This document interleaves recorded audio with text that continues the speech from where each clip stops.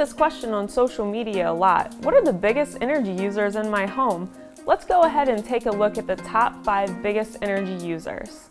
As we all know, AC is a big energy user, but there's also your pool pump, water heater, clothes dryer, and the oven. There are ways to help you manage your energy use. Here are a few tips. For your AC, every degree you turn up your thermostat in the summer saves 2 to 3% on your monthly cooling costs. You can also check out our website to find rebates that we have available. For your pool pump, we recommend a variable speed pool pump. Like LED light bulbs use less energy, the variable speed pool pump also uses less energy to help you save on pool maintenance costs.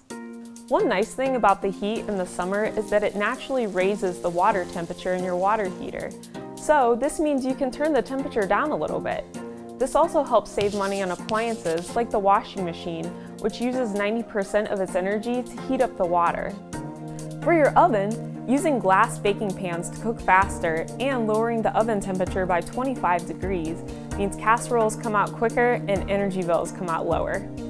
Keep in mind, you can also save money by shifting when you use major appliances to off-peak hours, like in the morning or later at night. Find more tips and tricks on APS.com, and keep those questions coming.